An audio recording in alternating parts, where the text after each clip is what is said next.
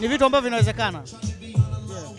Ikitokea mtu kaanzisha bendi alafu hiyo bendi akaipa jina la ya moto Bendi, mtaichukuliaje? Yani wewe ukiwa kama mmoja wa memba wa ya moto Bendi.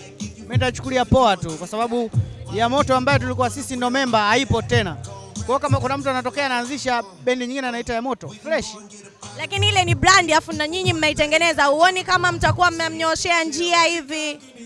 amna kawaida kawaida. Wapo watu, ndio maana hata hii nchi kuna watu, tupo Tanzania, si ndio? mm -hmm. Lakini kuna wasisi walipambana na hii nchi kuitoa sehemu iko na leo hawapo, lakini bado Tanzania na stili bado kuna viongozi wengine wanaendelea kuiongoza hiyo hiyo nchi. Kwa hiyo bendi yetu ilikuwepo, ilifanya vizuri, sisi tumetengeneza njia, hatupo tena. Wengine waje waendeleze fresh tu, watumie hilo jina baridi. Mimi kwa upande wangu sina, yani sitakuwa na hoja kwenye hilo, nikiona watu fresh, yani sijui wengine Inasemekana mwanamuziki akitoa nyimbo yale ambayo anayaandika mule mashairi na nayazungumzia, inasemekana kuwa yale mashairi anaweza akaa yanamgusa kwa njia moja au nyingine.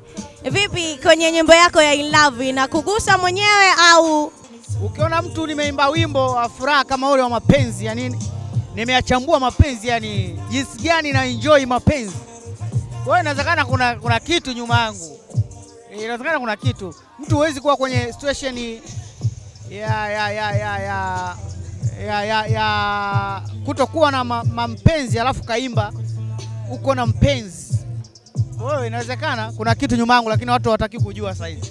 Tujue kwamba Beka Flava sasa hivi ameachana na mkewe, lakini ana ana wifi mpya katuletea. Ah, mimi sijai kuoa kwanza, afu maswali ya mke mke mbona unayapenda? Mimi sijai kuoa. Okay, mapokezi ya nyimbo yako ya In Love yapoje? Mazuri, mapokezi ya wimbo wangu wa In Love ni mazuri.